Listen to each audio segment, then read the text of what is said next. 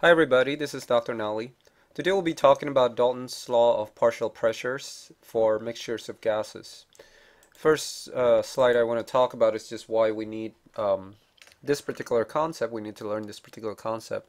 As it happens in nature, most of the gases that we are interested in studying exist as mixtures of gases. In other words, there's more than one gas that's present. For example, air which surrounds us is a mixture of all of these gases that are listed here, about 78% by mass of nitrogen, 21% oxygen, and 1% of other gases, uh, with argon and carbon dioxide being the main components of those other gases.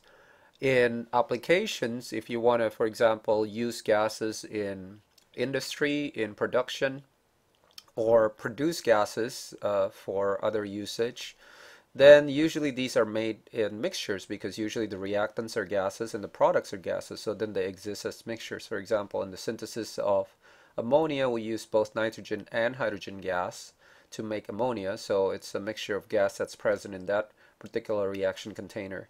Uh, when you use this uh, for example in medicine as anesthetics there's uh, quite a few gases that are used as anesthetics all of these usually are mixed together in a combination of gases, uh, uh, anesthetic gases, that are then pumped into the patient.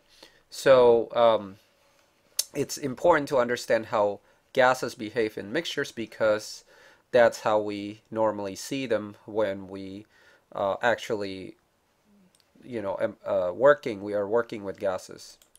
Okay, so one of the most important concepts associated with mixtures of gases is something called the partial pressure.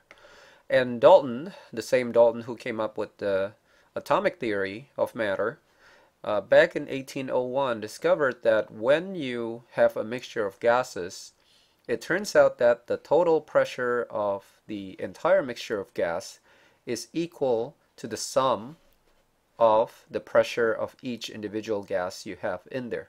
Okay? Mathematically, this can be written this way. Pressure total is equal to pressure of gas 1 plus pressure of gas 2 plus pressure of gas 3 and etc. until you have it all added up together. You can write it as well in this uh, fancier form, which is just sigma, means sum of all the pressures of gas uh, and I is just a general symbol for these numbers 1, 2, 3, and 4, and so on.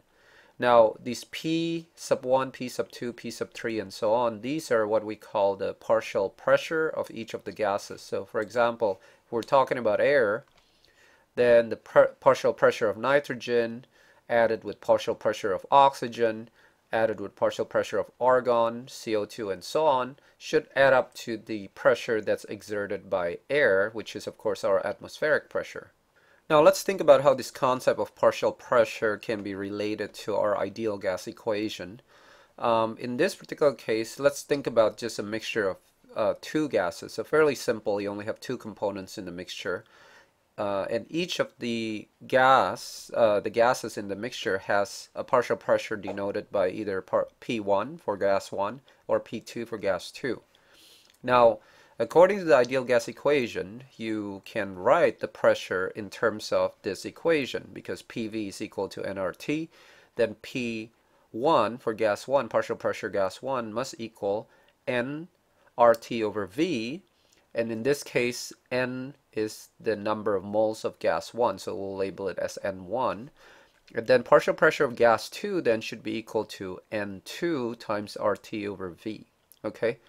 Now you you might ask this question at this point, why does the volume necessarily have to be the same in both cases? Well, think about it. If you have a mixture of gases, right? Let's say you have a air in a room. The volume of air in the room is the volume of the room, right?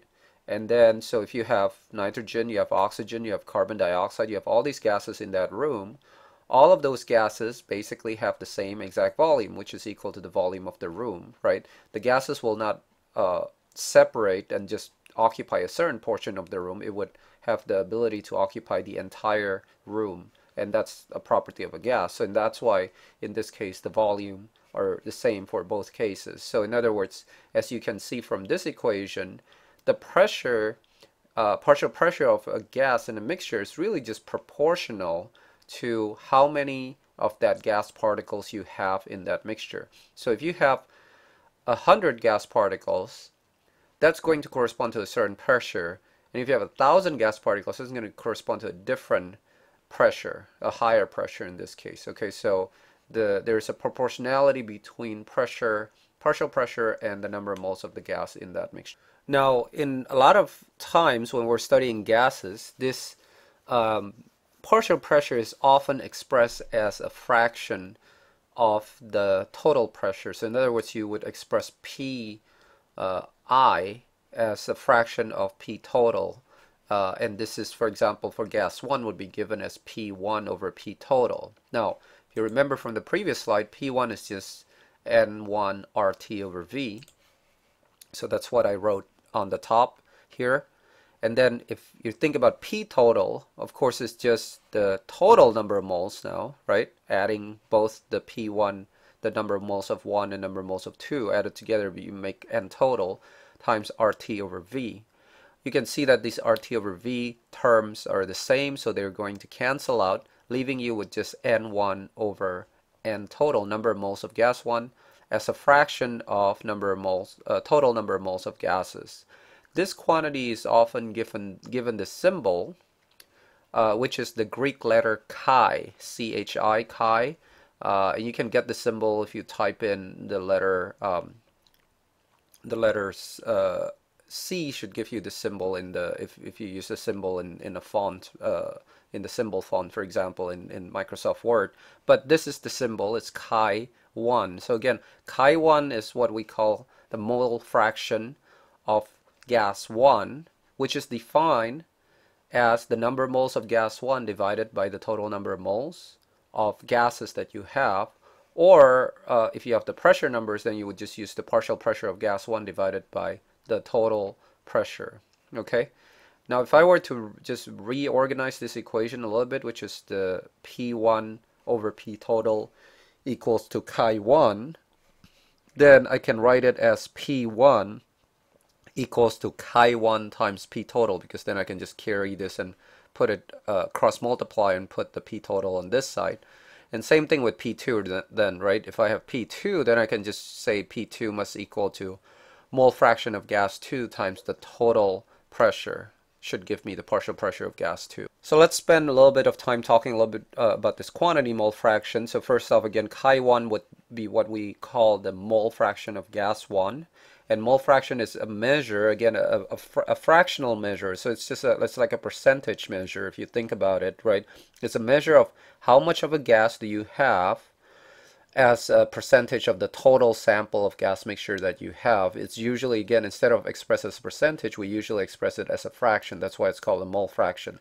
As a result because it's a fraction its value has to range from 0 to 1 can't be bigger than 1 or less than 0 and if you think about the way the mole fraction is defined, the mole fraction is either partial pressure divided by total pressure.